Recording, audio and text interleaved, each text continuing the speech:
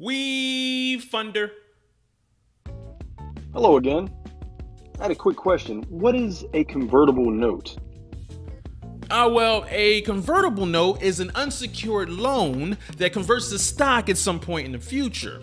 They are one of the most popular forms of seed stage startup investing because of their history, although the SAFE is rapidly becoming more prevalent.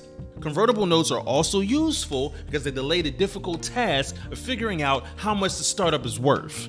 The number of shares you receive is determined at the next qualified financing, typically 1 million, when venture capitalists set the price for preferred stock. Then, calculated by using the valuation cap, discount rate, and interest rate, your loan converts into shares at a lower price than the venture capitalist paid since you invested early.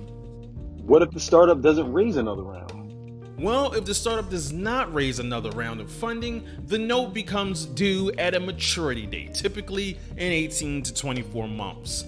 Convertible notes, however, are rarely repaid in cash. Instead, the note usually converts to equity at a preset target price. The discount and interest rates have a relatively minor impact on your returns. The most important term to focus on, which can greatly impact the price of your future shares, again, is the valuation cap, as mentioned during the SAFE call. This is usually set between 3 to 20 million depending on how hot the startup is. Like, is it hot in her or is it just kind of mild? Gotcha. All right, great. Have an awesome day, man. Thanks a lot. And you continue to have a great day as well. Bye bye now.